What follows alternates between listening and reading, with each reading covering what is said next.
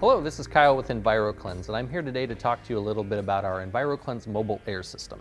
This system will process 250 cubic feet per minute of air when it's running on high.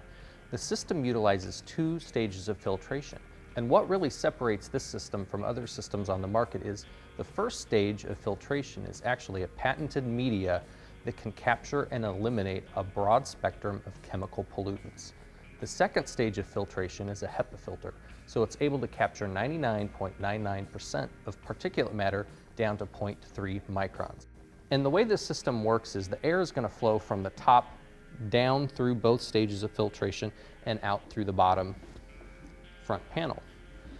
The system has four speeds. There's off, then the four speeds are whisper, low, medium, and high and it's at high where you'll get the 250 feet per minute of cubic air.